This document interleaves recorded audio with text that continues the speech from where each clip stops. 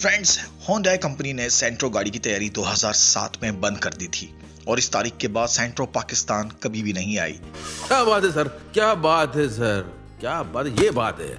अरे दूसरी जानिब बहुत सी इस्तेमाल शुदा गाड़ियाँ मार्केट में मौजूद हैं लेकिन लोगों को इन गाड़ियों की कीमतों का कोई पता नहीं। लिहाजा आज मैं आपको Hyundai Santro executive 99 CC manual के बारे में कंप्लीट जानकारी दूँगा। और आपको बताऊँगा कि होंडा सेंटर के डिफरेंट मॉडल 2002, 2004, 2006, 2005, 2007 इनकी प्राइसेस क्या हैं? ताकि आप जब ये यूज़ गाड़ियाँ लेने जाएँ होंडा सेंटर की तो आपको मालूम हो सके कि 2022 में इनकी कीमतें क्या हैं।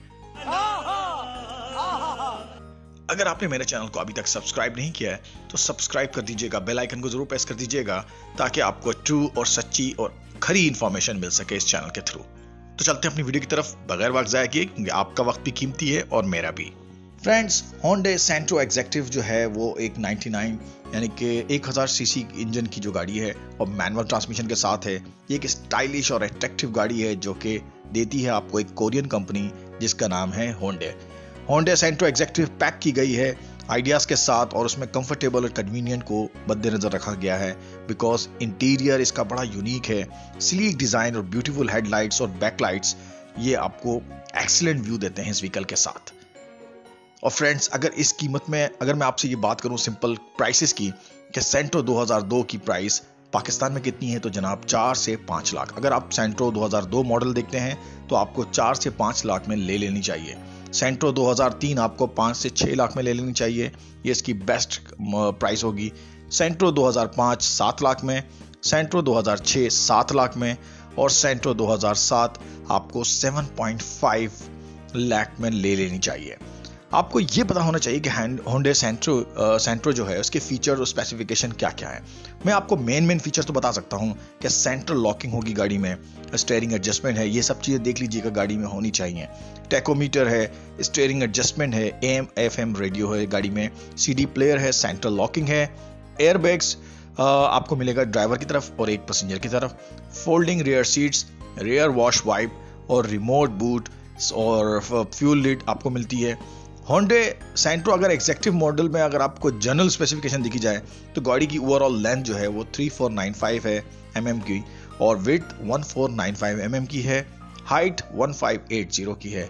और अगर मैं बात करूँ तो चार डोर है डिस्प्लेसमेंट 99 ट्रिपल मतलब 1000 सीसी है।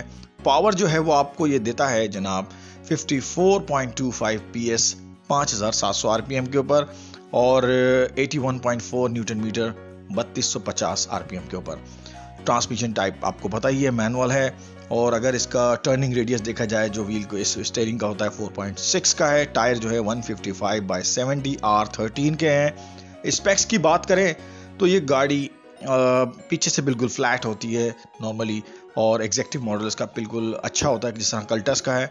आगे से गाड़ी बहुत ही ज़बरदस्त है। अंदर से बड़ी खूबसूरत है, क्योंकि ये इंपोर्ट की जाती है, बाहर की है लोकल मैट नहीं है तो ये गाड़ी थोड़ी सी लग्जरियस मालूम होती है। फ्यूल इकोनॉमी की बात करें तो जनाब ये फ्यूल इकोनॉमी के हवाले से 15 से 18 किलोमीटर पर लीटर आपको देती है।